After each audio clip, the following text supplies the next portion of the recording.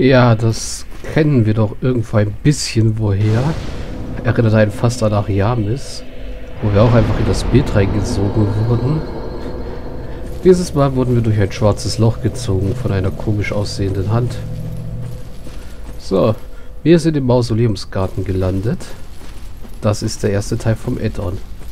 So, und vor uns liegt eine Nebelwand. Was hinter der Nebelwand kommt, ist mir schon mal wohl bekannt. Deswegen lege ich hier den Chlorantierring an. Damit ich genug Au äh, schnelle Ausdauerregeneration habe. Denn jetzt geht es hier ordentlich zur Sache. Nämlich gegen den Mausoleumswächter. Ja, das passiert, wenn man einen Manticore gleichen tut. So, bei dem müssen wir erstmal aufpassen. Der ist nämlich verdammt schnell. So. Und ihm auf den ja, Schwanz hauen normalerweise, wenn wir es denn schaffen. So. Aber erstmal will ich, hätte ich gerne seinen Schwanz des äh, Let's Stories halber. Ja, genau. Und ja, er schießt Blitze ab. Das macht aber nicht so viel. So. Hier aus. Das sollten wir nicht versuchen zu blocken, weil das zieht uns unsere gesamte Stamina ab. Aber da sollten wir ausweichen.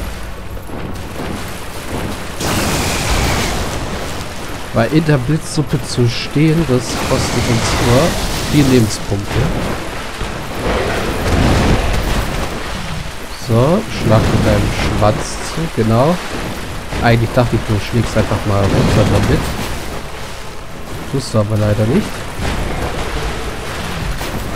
So, jetzt genau, jetzt macht er wieder das. Oh. Genau, und er schleudert auch Blitze aus dem Stegreif heraus. Ja, komm. Noch haben wir mehr als genug Lebenspunkte. Genau, das ist eine Schnellfeuerbatterie. Der ist aber leicht auszuweichen aus der richtigen Entfernung. Dem allerdings nicht so leicht.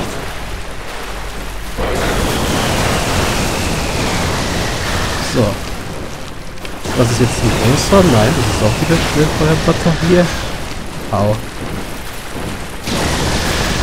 So, wegrollen, mal einen Schluck trinken. So. Und ausweichen. So, genau. Schlag. Nein, er schlägt nicht zu mit seinem Schwarz. Er macht lieber Nahkampfangriffe. Mit seiner Druckwelle. So. Da könnten wir normalerweise, wenn wir mutig sind, auch ihn treffen am Schwarz. Aber normalerweise macht er, kriegen wir ihn am ehesten, wenn er seinen Flugangriff macht. Also nicht den, sondern den Sturzangriff. Oder... Ja, na, das war nichts. Wieder seine Druckwelle. Die blocken wir lieber nicht.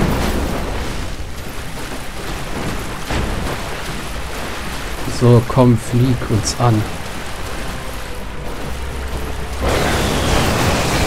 So, so, so, schieß ruhig.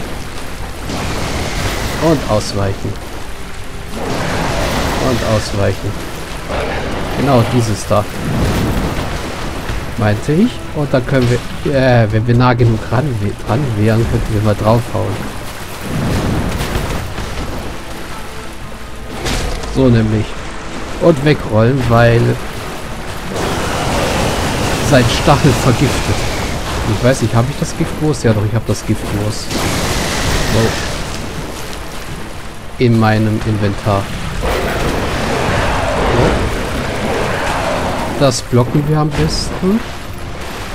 Und halt uns schön fern von ihm, dann macht er seinen Flugangriff hoffentlich öfter. So. Oder wir weichen seiner Blitzbombe aus. So, ja. Spack ruhig ein bisschen rum. Dem können wir ausweichen. Au, Das hat nicht so gesessen. Genau. Wow. Instant Kill?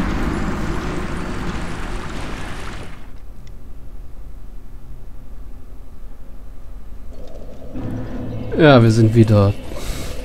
Das war ein Instant Kill. Den hätte ich jetzt so nicht erwartet in der Form. Naja.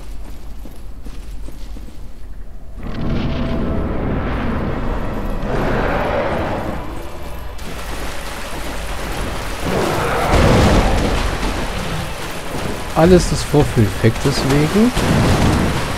Wow.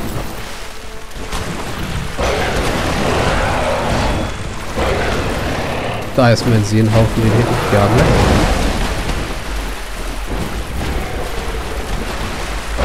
So.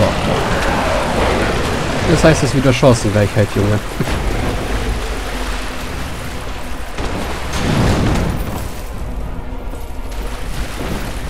genau. Und wieder seine Druckwelle. Ja, die trifft uns. Und große Blitzbombe.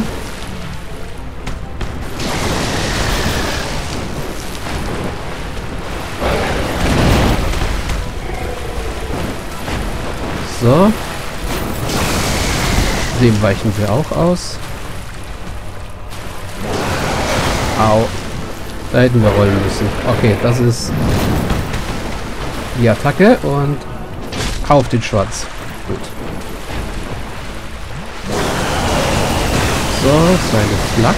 So eine Blitzflak. Wie ich das gerne nennen möchte. So. Und ausweichen.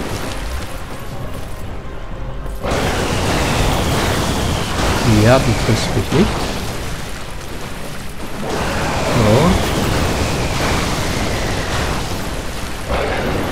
Genau, jetzt kommt das wieder. Da weichen wir schön aus, rennen hin und hauen auf den Schwanz drauf.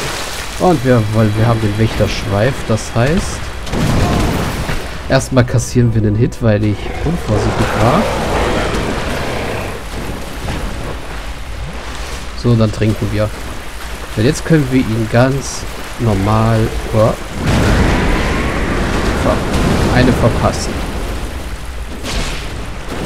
Und ja, man merkt, mit unserem plus 15 Pseudo-Excalibur machen wir ihm auch ganz guten Schaden.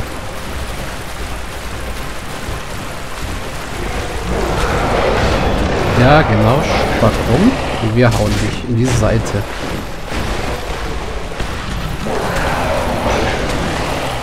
Ja. Wow.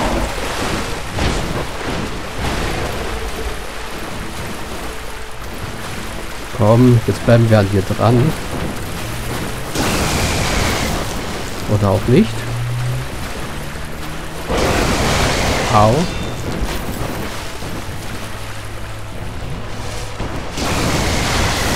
Das war auch nichts.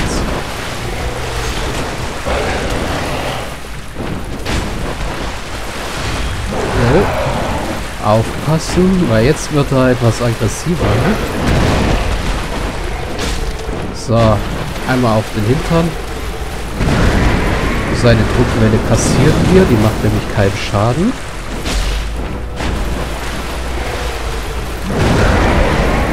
Oder wir weichen hier einfach mal aus.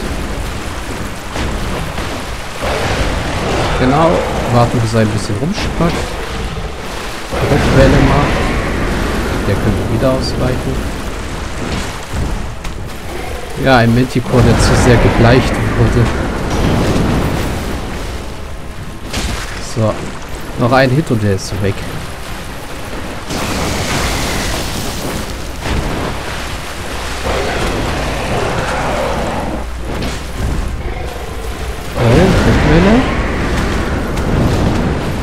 Oh, Und weg mit dir.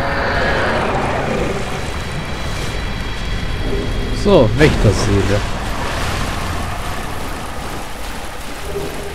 Und eine Menschlichkeit, die wir gerade eben verloren haben. Ja, dumm wie dumm. Seelen. Gut, wir haben den Manticore-Schweif gekriegt, den Wächterschweif. Der abgeschnittene Schweif des Mausoleumswächters. Der biegsame, schlachlige und hochgiftige Schweif ist eine abscheuliche Waffe. Ja, ist eine Peitsche. Haben wir sonst irgendwas hier? Ja, die Pyromantieflamme können wir mal wegpacken. Und wir haben seine Seele bekommen. Dumm, dumm, dumm, dumm, dumm, dumm, dumm. Wir haben sehr viele Seelen. Die sehen etwas anders aus als die anderen Seelen, die wir haben. Mondlichtschmetterling, Hexentochter Quilak. Ja, das sind eins, zwei, drei, vier besondere Seelen. Und wir kriegen sogar noch eine fünfte. Und die Wächterseele, die Seele des weißen geflügelten Löwen, der über das Mausoleum wachte und die Ausbreitung der Finsternis fürchtete. Der Wächter besaß auch andere Eigenschaften als die eines Löwen und war somit kein gewöhnliches Tier, sondern eher eine Art Dämon. Ja, also er war ein Manticore. Oder eine Chimäre. Ich glaube ein Manticore. Chimäre war ja, glaube ich, mit einem... Noch mit einem Ziegenkopf. Aber ja, das war ein Löwe mit einem Skorpionschwanz. Und wir haben das Urlakil Mausoleum erreicht. Das ist sozusagen die, der Feuerbandschrein des Add-ons. Und hier irgendwo müsste, genau, noch eine Menschlichkeit versteckt sein. Genau. Sehr gut.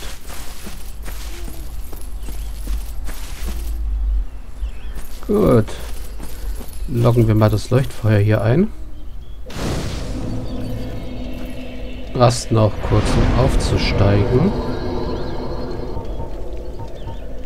Ja, unsere, die meisten Sachen sind schon recht hoch. Wir bräuchten noch ja, zwei Punkte für einen zusätzlichen Zauberslot. Aber nee, ich will Wille auf 30 bringen. Das ist mir wichtig. Für weitere Sachen, die ich euch zeigen möchte. So. Also Sachen, die im Singleplayer möglich sind. Und hier haben wir einen Bud Spencer Pilz ohne Arme und Beine.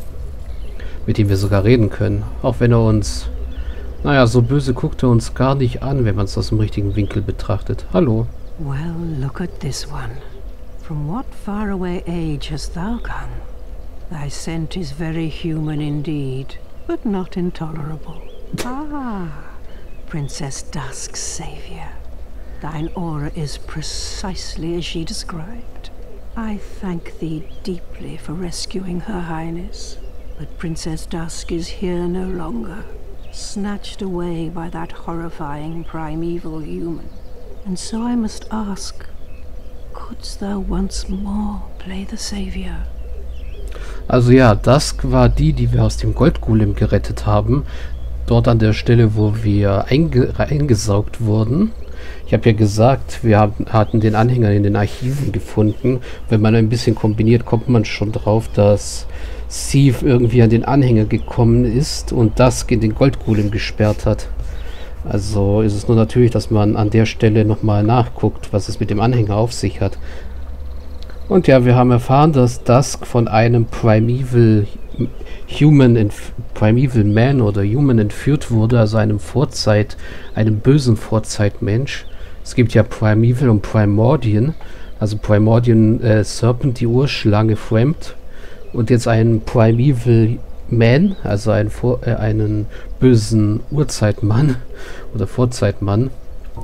Und der hat das entführt. Und dieser Pilz fragt uns, ob wir sie nochmal retten möchten. Also sagen wir ja. Thank you. I am Elizabeth, guardian of this sanctuary. Something of a godmother to Princess Dusk. I shall assist thee to my utmost, for I am one with the sorceries of Urasil.